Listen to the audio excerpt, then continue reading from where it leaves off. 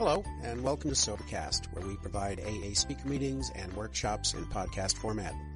We're an ad-free podcast, and if you enjoy listening, please help us be self-supporting by visiting Sobercast.com, look for the donate link, and drop a dollar or two into our virtual basket. We hope you enjoy the podcast. Have a great day. So, I will just uh, start out by saying this. My sobriety date is March 18th, 2001. If I make it till Wednesday, I'll have eight years of sobriety. And the only, I don't.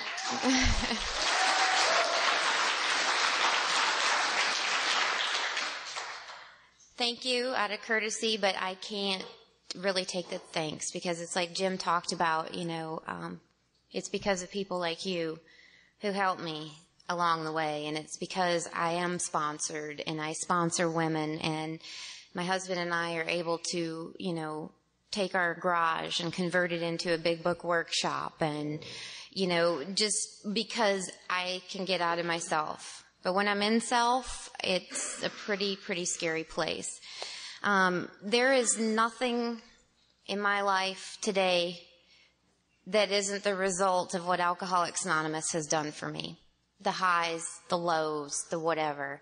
I don't believe that any of us make mistakes. I believe that they are mistakes if we choose to continue to do those things over and over. Um, Jim was talking about he's a spiritual thief with uh, certain things he says. I'm that way too. And my sponsor, she's four foot tall, size zero, little bitty thing, always wears stiletto heels, and she allows me to use her last name behind the podium because she wants to be of service to people. Her name is Chris. She's in Coshocton, Ohio, and she will kick my rump from 800 miles away, let me tell you. But, um, you know, what she talks about, you know, when you make a mistake, Brandi, it's not a mistake. Twice as much of something that doesn't work still doesn't work. So when I hear her say that, then I know, okay, I need to change something that I'm doing. So then it doesn't become a mistake if I learn from that and take, take a different action. Hopefully a God guided action. Um, just in um, sharing briefly about my story, I, I am a sole alcoholic. Um, my stepson likes to uh, laugh at me when you know I said I tried pot, you know, an outside issue a few times, and you know, he's like, that was more than you did it, you know, but, uh, you know, that's an outside issue. I am a sole alcoholic. I have a threefold disease, a disease of the mind, body, and spirit, and mostly the spirit.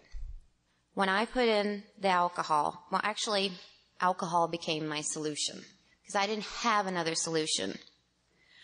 Alcohol became my solution because I'd put it in and everything would be what I thought was okay the world, you know, everything was justified. All the wrongs because it was what everything that you were doing to me. Um, my the biggest part of my disease is the spiritual part. You know, all of it's spiritual when we get into Alcoholics Anonymous. We don't get the spiritual awakening until we've completed the first 11 steps. So all of this is spiritual. But I am mentally, physically, and spiritually bankrupt. And I don't believe in walking the women that I get to sponsor through the steps without walking them through the big book of Alcoholics Anonymous. I have the nickname in Albert Lea where I live is the Nazi. And the reason I take that as a compliment today because I am making sure that I'm doing what my sponsor did and that's not giving me a watered, uh, these women a watered down message of Alcoholics Anonymous. And I think that's kind of how Dustin and I um, kind of met via phone and then met via Hiawatha Land, you know, because there was a man that came into both of our lives that, that, that changed the way we look at Alcoholics Anonymous and, and has really helped us be instruments of service. And, um, so, um, thank you, Dustin, for asking me to be here. I want to apologize in advance for that smoldering deal going on, but I went in the bathroom, hit my knees, and I asked God, okay, you got to take over. So I did do some uh, note taking and planning while I was uh, locked in the hotel room on my birthday alone. Now, I'm a good alcoholic. My Facebook status at one point said, it sucks being alone on my birthday. But you know what? I wasn't alone. Because eight years ago, I nearly didn't have a family or friends to celebrate my birthday with. I celebrated this belly button birthday in a hotel room because I was training for a job I probably would have not been able to hold eight years ago. So selfishness, self-centeredness, that self-pity, you know, it got wiped away once I thought about it and said, okay, God, what, what do you need here? So what do you do? You get into a role of service, get ready for this weekend. So one thing I want to point out is if anybody is, um, has listened to Jim, I didn't get to hear the speakers before. I apologize for that. Um, I flew in late last night and, uh, everything here is so divine you know, it's so divine. When we think about what happened with Bill W., what happened with Dr. Bob, I mean, all the way back from to Rowland. I mean, he was supposed to see two other psychiatrists before he got to Carl Jung. And it's what my sponsor likes to call seconds and inches. How many times in your life, in your recovery, have you been seconds and inches, maybe away from life or death? Be a car wreck, overdose, seconds and inches away from how many other things? You know? And, and everything, you know, young, seconds and inches to get Rowland to get to Ebby, Ebby to get to Bill, Bill to get to Bob, to the 2,000, to the 6,000, to us here today. I mean, it's a beautiful thing. And so when we come to believe, it's hard to come to believe.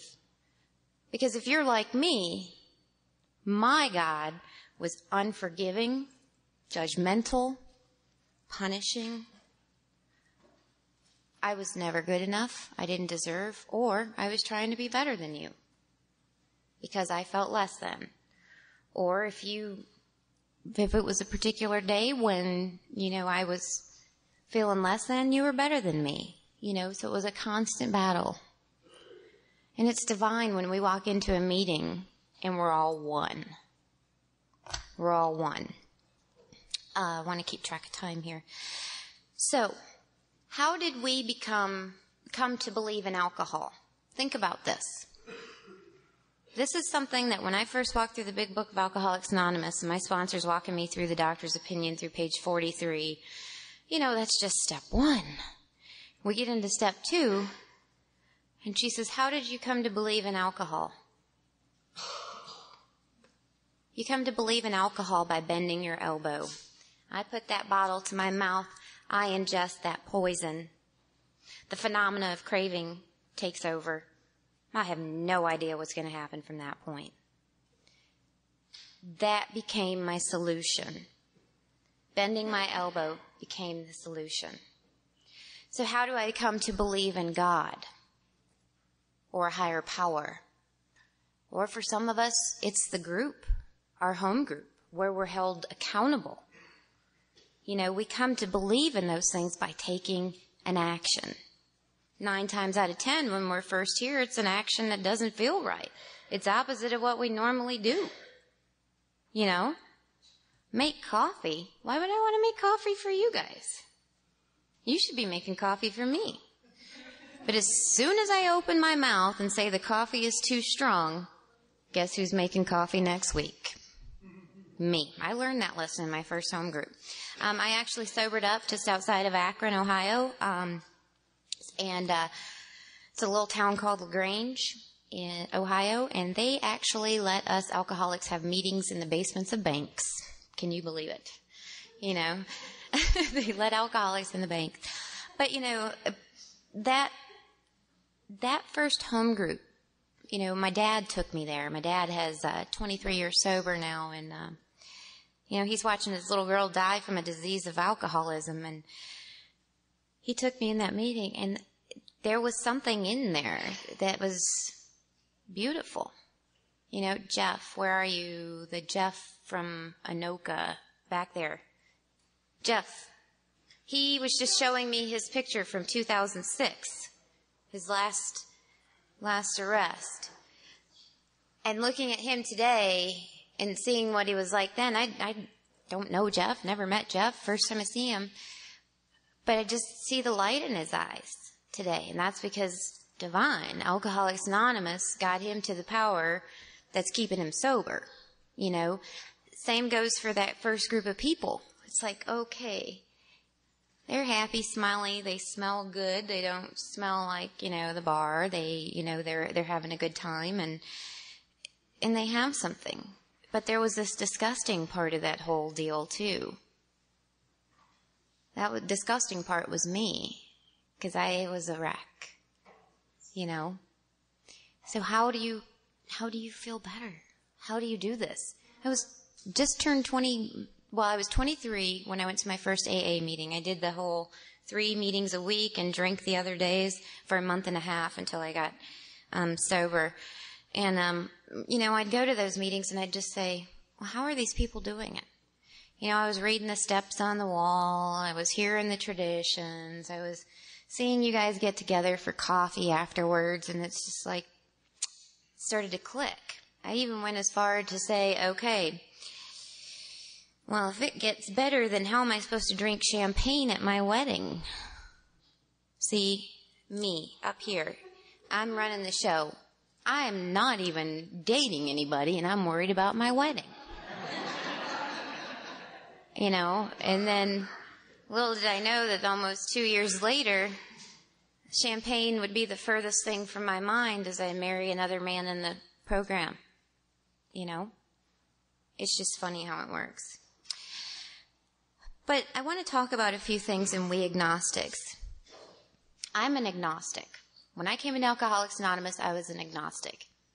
If you aren't sure about agnostic or atheist, you know that the dictionary has become very helpful since I've started studying the big book of Alcoholics Anonymous.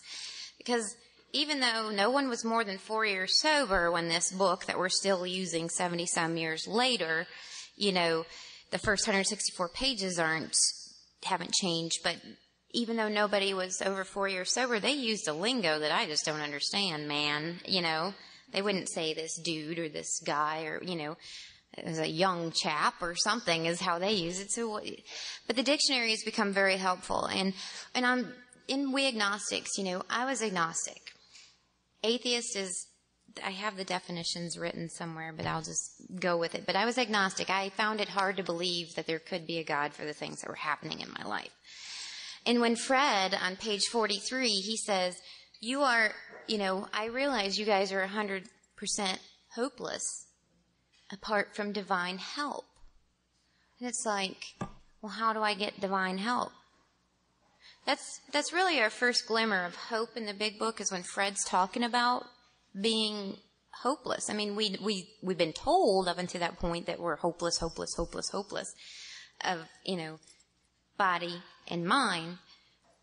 But the first real sense of hope we get is on page 43. You know, divine help. So how do I get that divine help?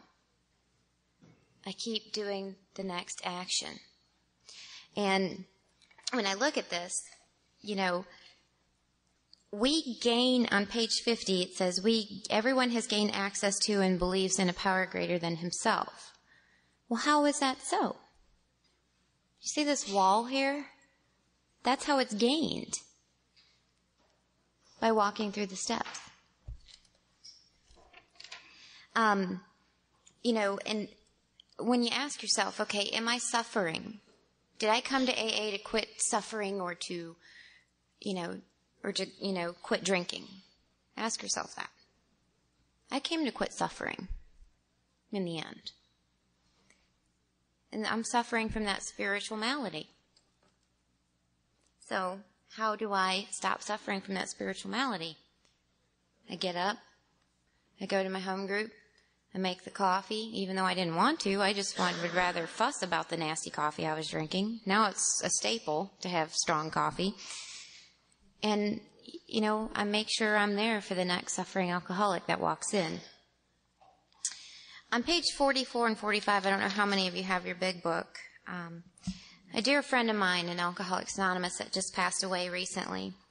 This is one of the biggest things that he would point out to me. If a mere code of morals or better philosophy of life were sufficient to overcome alcoholism, many of us would have recovered long ago. I really couldn't have wished for better morals or better you know, philosophy. It was so distorted, you know, because my disease centers in my brain. Jim was talking about, you know, if it wasn't for his brain and not having his body, you know, he would probably, you know, killed himself. You know, how he was talking about the, the body as the vehicle. It goes on to say, but we found that such codes and philosophies did not save us, no matter how much we tried. How much does that happen to us? You know, we say a hundred times we're not going to the bar that day. And where do we end up? You know? Um, we could wish to be moral. I could wish to be moral. I still have problems with that. I'm moral. I just have a, never, no, I'm not going there. We could wish to be moral. We could wish to be philosophically comforted. In fact, we could will these things with all our might, but the needed power wasn't there. Our human resources, as marshaled by the will, were not sufficient. They failed utterly. Ask yourself, did my will fail me utterly? Time and time and time again. Lack of power, that was our dilemma. We had to find power by which we could live, and it had to be a power greater than myself. Guess what? There is a God, and that God's name is not Brandi Dreyer. Obviously, but how were we to find this power? Here's your answer. Well, that's exactly what this book is about. Its main object is in, to enable you to find a power greater than yourself, which will solve your problem. That means we have written about a book which we believe to be spiritual as well as moral. And it means, of course, that we're going to talk about God. How many of you cringe when you hear the word God? Be honest, by show of hands. If you want, you don't have to. Yeah, God. Probably like me. Punishing, unforgiving. I'm going to hell. What's the use? And I've had a shift. Starting about three years sober, I really started to feel that, okay, God is a loving God. He's a, you know, that this power greater, God in my understanding is loving, forgiving. You know, guess who's the last person to forgive Brandi? Me. For anything. You know, but God forgave me long ago. Or the, the power that greater than myself.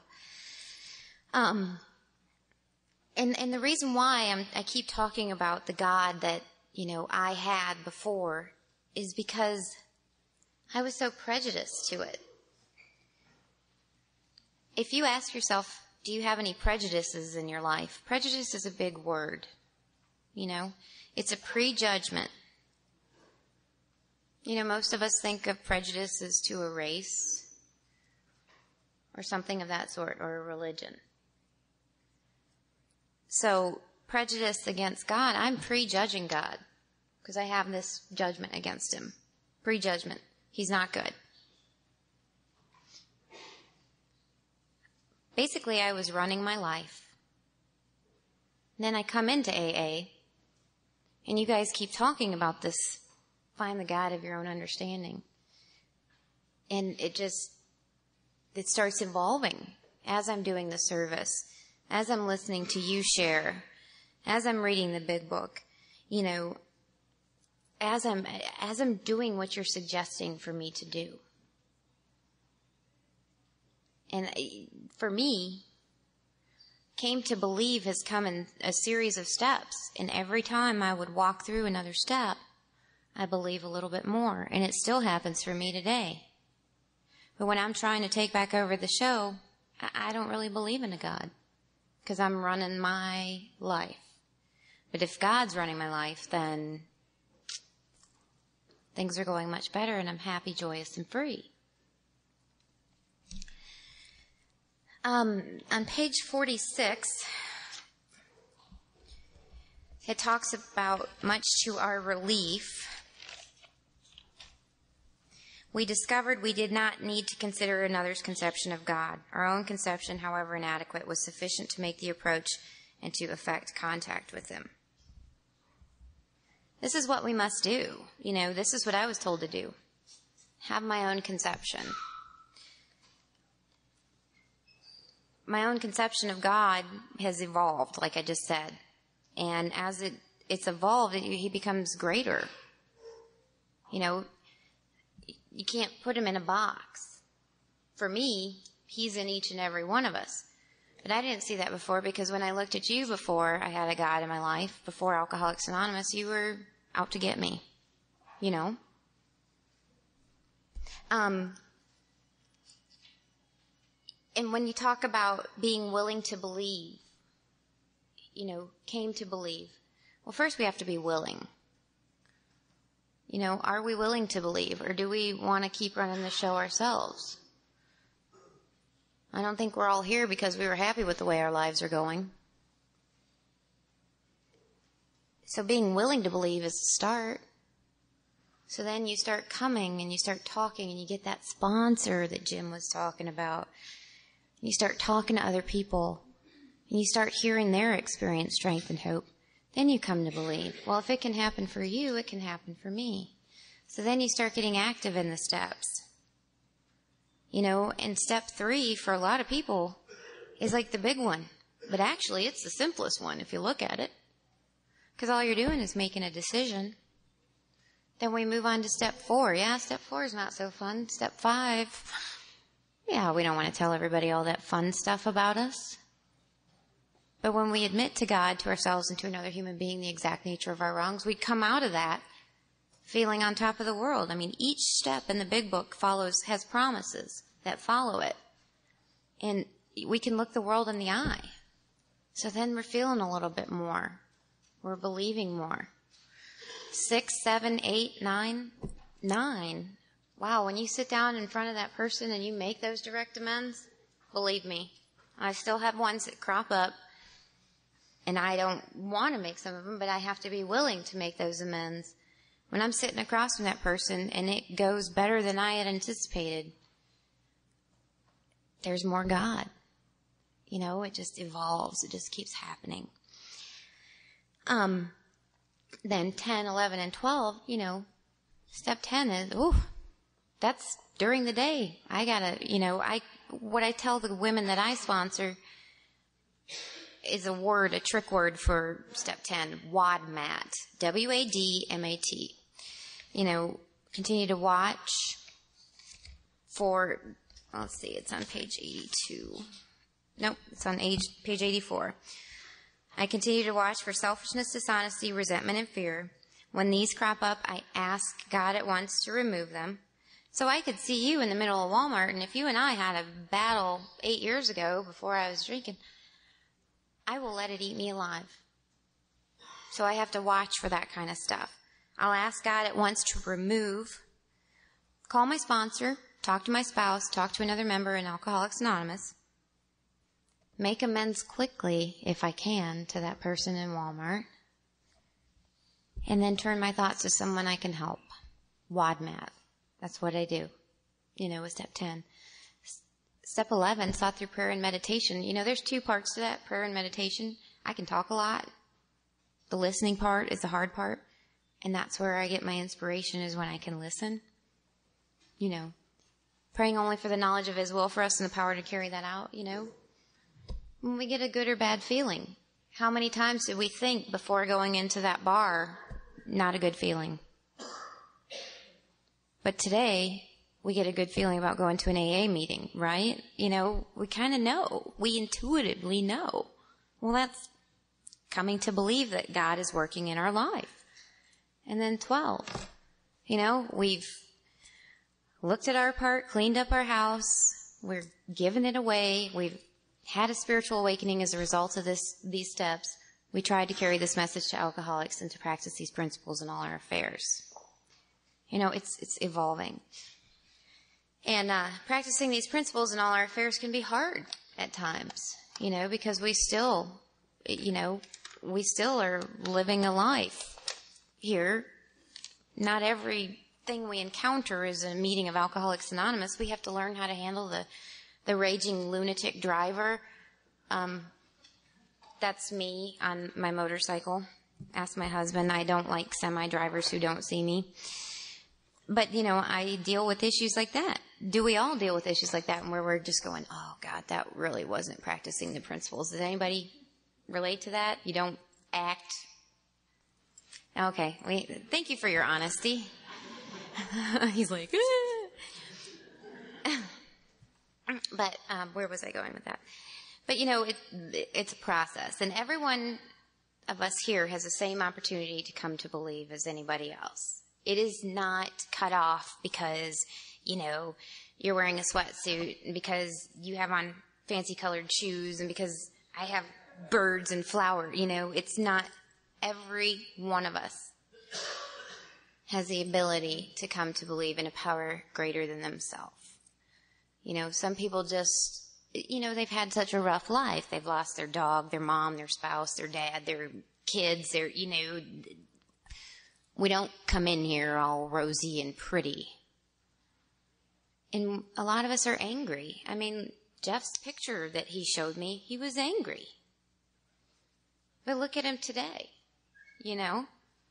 We all come in at the bottoms of our, what we think is the bottoms of our lives.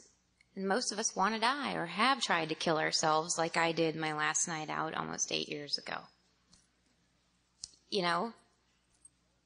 But I was given the same opportunity that Bill was given, that Dr. Bob was given, that Dustin was given. And we do that by action. And by listening to somebody else, you know, the woman that needs to sponsor me better be pretty cute and pretty skinny. Because, well, I shouldn't say pretty skinny. I, you know, at that point in my recovery, when Chris Campbell came into my life, I was at a point where I couldn't look at, in my recovery, I couldn't look at myself in the mirror and see a beautiful child of God.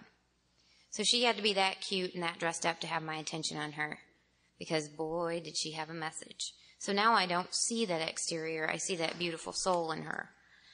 But I've been given the same opportunity that she was given. Now I see a beautiful woman. And, you know, I just see beauty all around us because I was, you know, I did what was suggested to me. And yeah, there's times where, you know, I just want to tell her, I don't think you're right. But I do take it into consideration because you know what?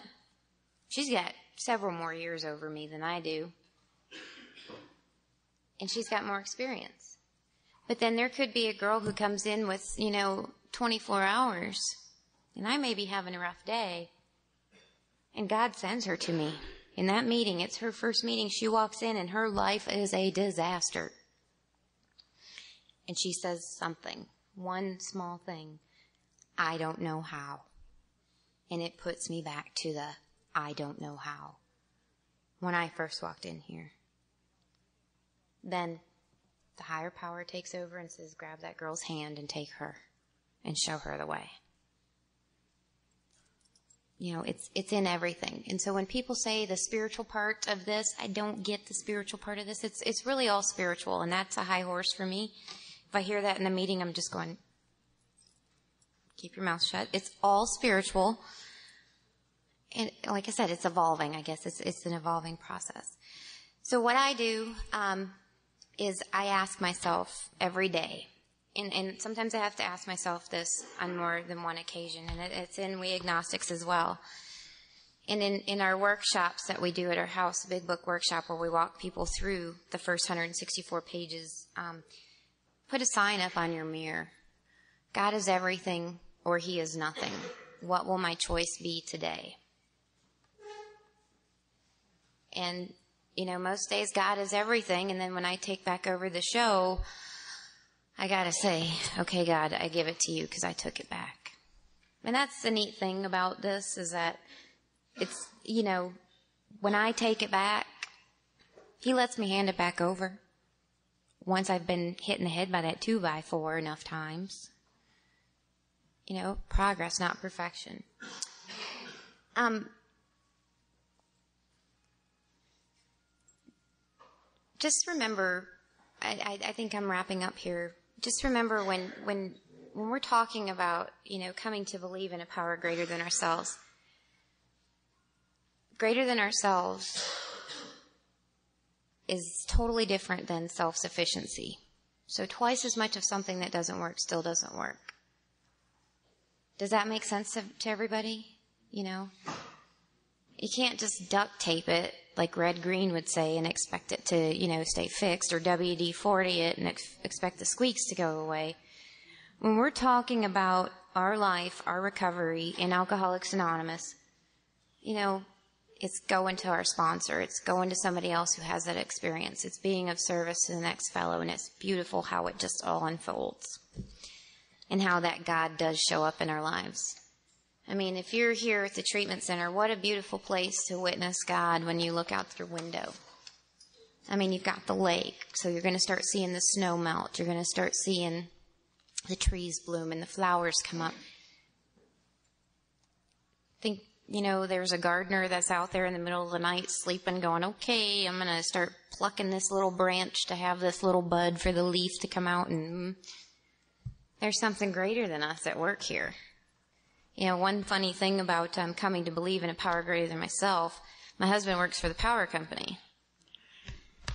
And you hear the you've seen the electric maybe you have or have not seen the um, you know the electricity analogy that they use but um, i flip on that switch i expect it to come on. If it doesn't come on what happens? I realize i didn't pay my bill i still have to do my part and then that electricity will be there. I still have to do my part. And whenever you know like like winters does anybody struggle here because we're in minnesota that's lack of sunlight you know? The winters are really hard. And i really I, i'll be honest with you guys winters are a hard time for me to find god. They are because we're caught inside and i'm looking at the dirty the dust and the you know this and the that, and it's hockey season. And I will tell you guys right now, honestly, from the bottom of my heart behind this podium, I find it so hard to practice these principles at a hockey game because I love banging on the windows. but um, what my sponsor said to me, Brandi, you may be in Minnesota, but you have life. You have two legs. Even if you're in a wheelchair, you can dress you go outside and you find that God.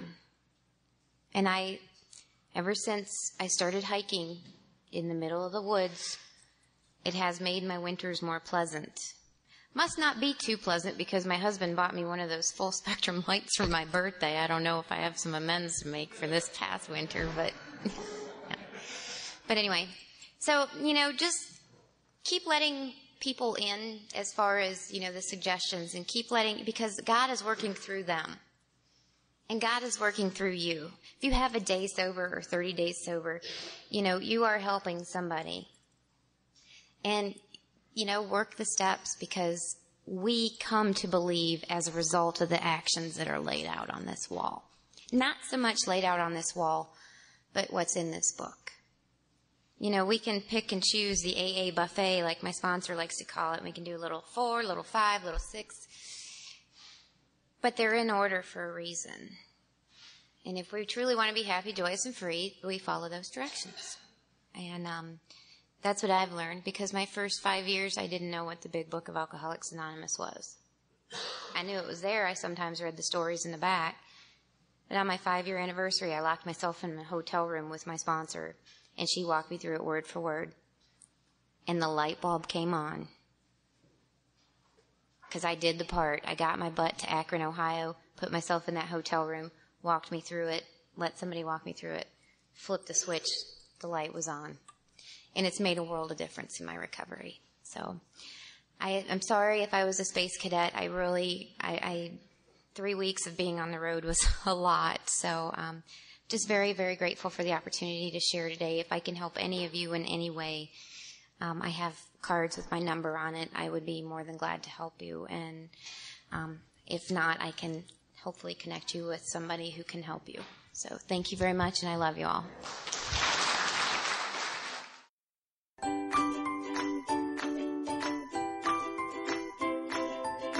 Thanks for listening. I hope you enjoyed the podcast. Sobercast is ad free, and we'd like your help in order to keep it that way. So if you'd like to help us be self supporting by pledging a dollar to a month, visit Sobercast.com and look for the donate links. Thank you very much.